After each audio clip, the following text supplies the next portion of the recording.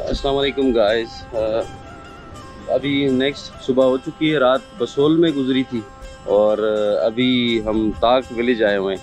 यहाँ पे फ़िशिंग होती है, बहुत बेहतरीन और एक अलग किस्म का यहाँ पे बीच है।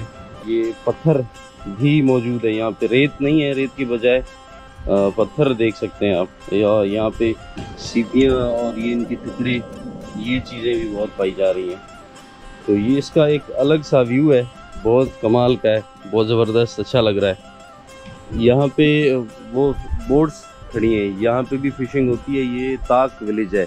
औरमाड़ा के पास है और शायद कोई चंद किलोमीटर्स के फासले पे है। और ये ये आप देख सकते हैं, ये यहाँ पे कुछ है आई थिंक ये उन मछलियों के अंडे हैं या कुछ और है। यहाँ सीपियाँ हैं ये शायद, ये सीपियाँ हैं सारी। तो यहाँ पे ये सीपी ऐसा ऐसा छोटे से बड़ी हो जाती है और फिर यहाँ पे शायद जो ना सख्त ये नहीं निकली क्या? वो एक फैमिली की स्ट्रगल चल रही है यहाँ पे। दो चार केकड़े हैं जिन्होंने मछली पकड़ी है। वो ऊपर लाने की कोशिश कर रहे हैं और पूरा ग्रुप है ये इनका। तो ये उसको ऊपर लाने के लिए कोशिश कर रहे हैं। जैसे ऊपर आएँगे मैं आपको दिखाऊँगा। ये समंदर भी एक बहुत बड़ी दुनिया है, जिससे लाखों लोगों का पेट पलता है, लाखों क्रिएचर्स अपना जो है मतलब गुजर बसर करते हैं।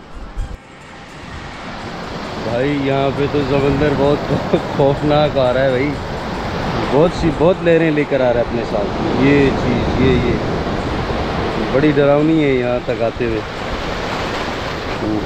थोड़ा किनारे बैठ के थ्रो एरिया के भी भीड़ हो रहा।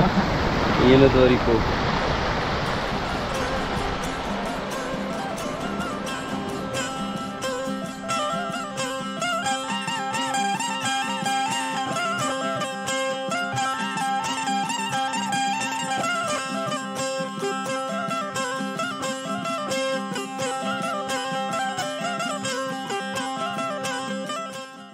ताक विलेज से भी हम वापस जा रहे हैं और उड़माड़ा की तरफ़ और बल भी है एक पॉइंट जहाँ पे सेम ही सिचुएशन है, वो भी हम जाके देखेंगे। तो यहाँ पे एक्सीलेंट बहुत बेहतरीन व्यू आ रहा है। सामने सिंगल बोट्स भी हैं सिंगल पर्सनस की जो फिशिंग कर रहे हैं। इन्होंने यहाँ पे बाइक्स भी खड़ी की हैं। सुबह गए थे ये और शाम में फिर ये वापस आते हैं। दो दो तीन बजे तक ये वापस आ जाते हैं, उनका शिकार हो जाता है।